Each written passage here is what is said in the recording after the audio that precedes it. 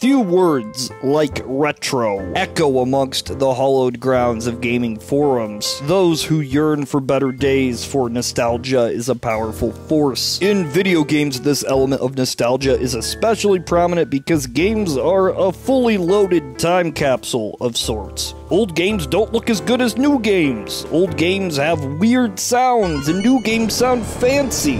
It's fairly easy to pick out a game made in the 1980s, 90s, and 2000s, and so on, and identify what generation made this technology possible. And this is cool. I mean, it lets video games differentiate themselves from other mediums. So when I ask you the question, what is a retro game? What is the cutoff between retro and simply antiquated? I assume you have an answer in mind. Now, in my experience, it seems like the answer is usually any game console that was made before the time you were a teenager. So, if you're in your 20s, a PS1 or Nintendo 64 was the last retro console. If you're in your 30s, it might be an SNES, and so on and so forth. I'm generalizing, of course, but this often seems to be the case. But it's the words of retro, old, vintage, modern. The fact that they don't have have a clear definition, that fascinates me. And today, I just kind of wanted to look at that. Beyond purely aesthetic features, the factor of time is obviously the clear driving force of what is retro. A game simply looking dated is not enough to have it resonate on that nostalgic level. For most of my youth, the answer to what is retro felt clear cut amongst all demographics and age groups. Pixel art in 2D systems were retro, 3D was not. Even as a kid, I knew that this was an old game. This was a new game. Even if they were only separated by a few years in development time, it made sense. It was simple. But not foolproof. For the purposes of general communication, though, it worked. Video games were becoming a much larger entertainment medium. Unlike in the 70s or the 80s, it wasn't uncommon at all for a 20 plus year old to still be playing video games, as they said. The stigma of an adult playing video games was wearing off, and the market reflected that people wanted to repair their older machines or buy games for these older boxes. I'm not going to talk about PCs in this because that's that's a whole other story. Many independent developers wanted to draw inspiration from their own nostalgic memories. By the mid 2000s, pixel art was cool again, and by 2010, it was everywhere. Retro was a defined art style and type of game, and I'm sure you've seen all the merch that has arose from this subculture. The retro vibes, the NES shirts, the SNES throwbacks, it's all retro. But here's the thing. So, the first retro throwback I remember is the PC title Cave Story. Now, that game released in 2004, which was 17 years ago. A game that is trying to evoke the past, released well into the past. 17 years before Cave Story was 1987, which was definitely peak pixel art days. This means that Cave Story, the retro throwback, is now as old to us as it was to what it was throwing back to.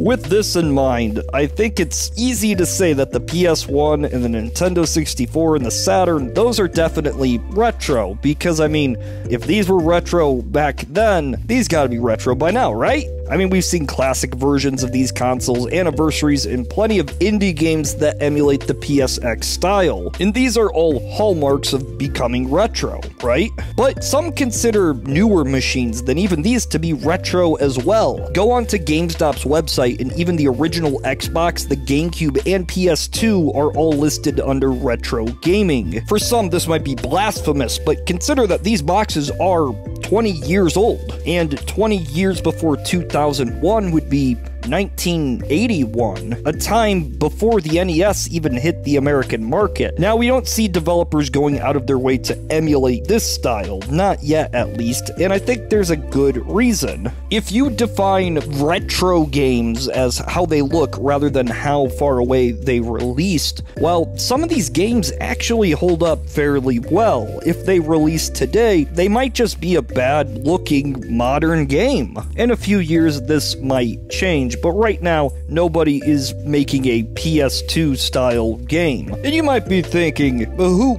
cares? This is all just words, fancy definitions from the fancy definition book. It's all up to interpretation, and none of this really matters. And for the most part, I agree. But sometimes, these words can have an effect on other things. If retro gaming is defined as a market value, well, that matters. Pricing in used games is entirely defined on rarity and demand, and that demand follows a fairly predictable pattern. Immediately after a game console releases, its price will stay about the same. Over time, it begins to fall, and eventually it's replaced by something new, and the price plummets. This continues for about a decade until finally the kids who grew up with these boxes have their own disposable income.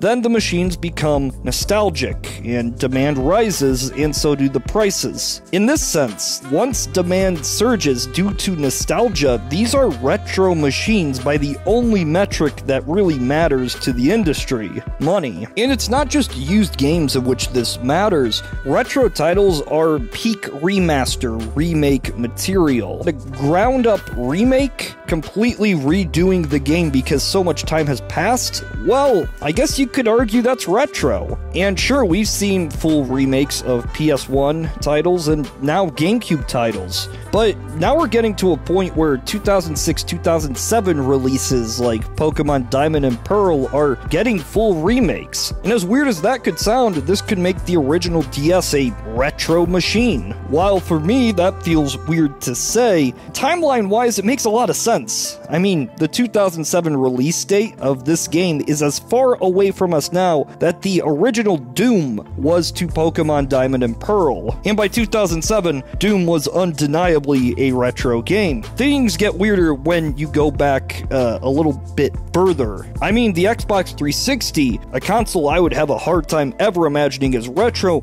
did come out before this. It was 16 years ago in 2005. And 16 years before the Xbox 360, that was 1989. That was the age of Golden Axe and DuckTales and Bonk's Adventure. 21 years ago, the PS2 released in 2000. 21 years before 2000 was 1979. So it was Atari 2600 days, or Asteroids in the arcade. Any further back, and we're basically at the prehistory of video games. Consider that when the word retro started to enter the public consciousness in the 90s, that often referred to games that were less than a decade old. The way I imagine it, once demand spikes, once a full remake is made, then that thing is retro. So the PS3, the DS, the 360, the Wii, th- those are retro. And going back beyond that, you get a style that is emulated because it's not just old, it's so old, it's cool, it's vintage. Any older than that, the pixel art of the SNES and the Genesis and the NES, those have already seen their resurgence come and seemingly end. I guess by today's standards, a time when even the emulation of this style is past its prime. I guess you'd have to call it antique. Something that is so old, its nostalgia itself could, in theory, one day see a nostalgic resurgence. For me, though, the wackiest concept is that a kid that was 11 when the PS4 launched, well, they would be 18 now. They would be out of high school, they would have a job and pay taxes, and if for some reason they wanted to spend disposable income on the console of their youth, well, that would be a PS4, a box that's still sold in stores. By today's standards, an adult could see the PS4 as a retro machine.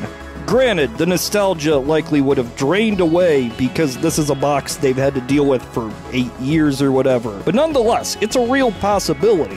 I suppose the main message of this video, the main thing you should take away though, is that if you feel nostalgia for something, if you want to recapture those memories, odds are a lot of other people are thinking about the same thing at the same time. And that means demand rises and prices go up, and now the PS3 is an expensive box again.